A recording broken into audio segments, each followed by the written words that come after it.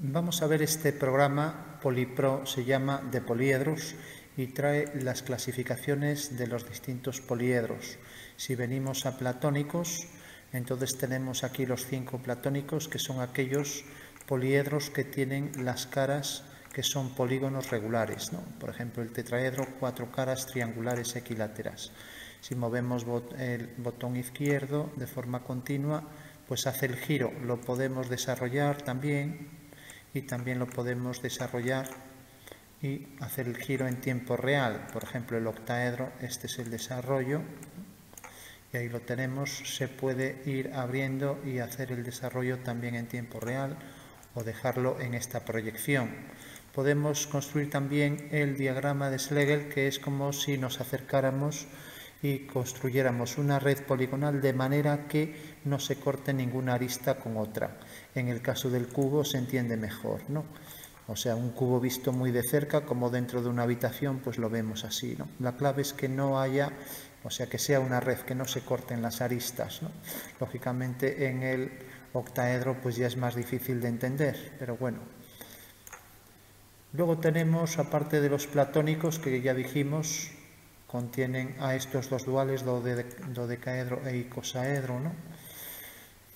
Entonces nos ponemos aquí, por ejemplo, en, en icosaedro, volvemos aquí a esto y lo vemos aquí en esta disposición, ¿no? 20 caras triángulos equiláteros y su dual que es el dodecaedro. Los duales se obtienen al intercambiar vértices por caras, ¿no? como pasa con estos dos duales, dodecaedro y icosaedro, o también octaedro y cubo, que son eh, duales de sí mismos. ¿no?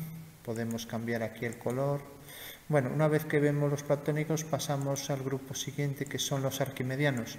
Casi todos se obtienen por truncamiento de los anteriores, ¿no? O sea que si cogemos un tetraedro y lo truncamos de manera que queden polígonos regulares en estas caras, pues obtenemos el tetraedro truncado. El cubo octaedro, pues podemos coger pues o bien el cubo o el octaedro para cortarlo y tenemos este poliedro también arquimediano tenemos el cubo truncado, le cortamos las esquinas de manera que quede aquí un octógono y aquí triángulos. ¿no? Como vemos todos los sólidos arquimedianos pues son convexos, todos tienen, este es el octaedro truncado, ¿no? todos tienen siempre los, mm, las caras uniformes, o sea que siempre en cada cara coinciden siempre, perdón, en cada vértice coinciden siempre el mismo número de caras, o sea, dos hexágonos y un eh, y un cuadrado. ¿no? Eso quiere decir que es uniforme, caras regulares y obtenidos por el truncamiento de los platónicos. Hay casos más complejos, difíciles de obtener, hay que hacer varias transformaciones más, pero casi todos se obtienen por ese método. ¿no? El rombicubo octaedro, por ejemplo, también a partir del cubo lo podemos obtener por truncamiento. ¿no?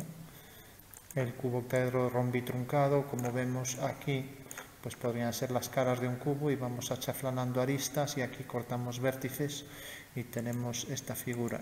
Este ya es más complejo, es el que hay que hacer varias transformaciones. Esta es la intersección de dodecaedro y cosaedro, también lo podemos, lo podemos obtener, pues por ejemplo, como la intersección de ambos o por el corte de tipo 1, ¿no?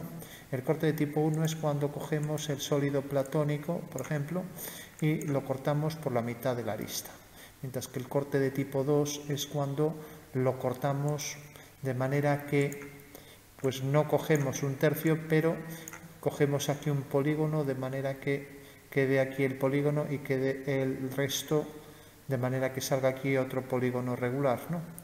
En, este corte, en la base de esta pirámide. ¿no? En este caso no hay problema porque es un hexágono, pero en otros casos, como por ejemplo el dodecaedro, pues sí que tendremos que coger aquí de manera que salga un polígono regular para obtener un arquimediano. ¿no? Entonces venimos otra vez a los arquimedianos y ya decíamos, truncamiento de los poliedros anteriores de Platón. Entonces vamos a ver alguno más. El dodecaedro truncado, como vemos, es corte de tipo 2, ponemos aquí un polígono regular, aquí otro, aquí otro, y entonces nos queda ahí un triángulo equilátero. En todos los arquimedianos tenemos que siempre que todas las caras son polígonos regulares. ¿no? El icosaedro truncado es el famoso balón de fútbol. ¿no? Cogemos el icosaedro y lo cortamos por un corte de tipo 2 y vemos que entonces nos sale una cara hexagonal. ¿no? aquí siempre un pentágono rodeado de hexágonos. ¿no? El rombicosido de caedro es el otro balón de fútbol con más esfericidad. También podemos partir de un dodecaedro, si nos fijamos este pentágono más grande y este más grande, y ahora chafranamos aristas y eh, quitamos la pirámide de cada esquina y tenemos el rombicosido de caedro. Bueno, pues este lo mismo, este podemos coger también, por ejemplo, el dodecaedro y cortar aristas y vértices y obtenemos esta figura. Bueno, una vez que tenemos los arquimedianos, los duales de los arquimedianos son los, eh, los de Catalan, los políedros de Catalan, que tienen todos caras iguales, aunque ya no son polígonos regulares, ¿no? son los duales y por tanto lo que hacemos es intercambiar, serán los mismos que los arquimedianos, pero intercambiamos caras por vértices y nos salen estos poliedros tan curiosos porque tienen siempre caras que son iguales. ¿no? Este sería el tetraquis, el disdiaquis aquí del dodecaedro, el triacontaedro rómbico. Bueno, si cogemos los puntos medios de estas figuras, pues obtenemos los arquimedianos. En el caso contrario no se da, o sea, la recíproca no es cierta. Eso se tiene por el caso de la inclusión en la esfera, ¿no? que se da pues en los poliedros de Catalan podemos obtener de ellos los arquimedianos al coger los puntos medios, pero no podemos hacer lo mismo al coger de los arquimedianos los centros, no obtenemos los de Catalán. Pasa lo mismo con los mm, platónicos de con los platónicos y sus arquimedianos. Pero la recíproca es cierta, o sea que si cogemos los puntos medios, aquí vuelve a salir el tetraedro, pero sí, porque es dual de sí mismo, pero si cogemos los puntos medios del, del octaedro, pues obtendremos el cubo porque es su dual, mientras que si cogemos los puntos medios del cubo obtenemos el octaedro. ¿no? Bueno, son duales entonces el octaedro y cubo y luego dodecaedro e icosaedro. ¿no? Por eso tienen propiedades muy afines. Si vamos, por ejemplo, a los prismas y antiprismas, prismas ya sabemos lo que son. ¿no? Si cogemos los puntos medios aquí, tendremos sus duales que serán las dipirámides, mientras que si cogemos los deltoedros, aquí tenemos los antiprismas. Los antiprismas, pues vemos esta cara girada aquí abajo y al unir salen aquí en los laterales una franja de triángulos equiláteros. Bueno, eso en cuanto a los antiprismas, los prismas es simplemente el desplazamiento de un polígono, de manera que lo hacemos mediante ortogonales y tenemos ya el prisma. Si cogemos los de Johnson, pues bueno, son 92 poliedros como vemos mucha variedad, que hay varias clasificaciones. No son ni platónicos, ni arquimedianos, ni prismas, ni antiprismas. O sea que si excluimos esto, pues tenemos poliedros regulares convexos que todos pues cumplen la condición.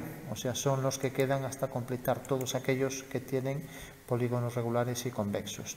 Algunos son pirámides, otros bipirámides, y vemos aquí clasificaciones bicúpula, ortobirrotunda. Elongada es cuando se le une un prisma, por ejemplo, aquí tenemos ortobirrotunda, ¿no? Tenemos giro elongado, es cuando se une un antiprisma. Aquí hay variedades, ¿no? Elongado se une un prisma. Bi, cuando tiene dos copias unidas, ¿no? Mm, como este aumentado, ¿no? Aumentado es al sumar pirámide o cúpula. Disminuido es al quitar pirámide o cúpula, por aquí también vemos varios como este, ¿no? El giroide es cuando se rota una cúpula, para biaumentado mm, tiene dos caras paralelas, eh, mientras que el aumentado tiene dos oblicuos, en fin, hay muchas clasificaciones, ¿no? Girado, vigirado, giro elongado, en fin. Y luego tenemos la última clasificación, que es la clasificación de las eh, esferas y domos geodésicos. ¿no? Hombre, todos los demás pues ya más o menos están descritos, están hechos a partir de Mm, de otros poliedros, casi siempre los regulares, porque tienen todos sus puntos sobre la esfera. Y entonces lo único que hay que ver aquí es la frecuencia. Por ejemplo, esta es la icosaédrica, entonces partimos de un icosaedro y dividimos sus aristas en dos partes. Entonces, si buscamos aquí la configuración, aquí tenemos los vértices del icosaedro.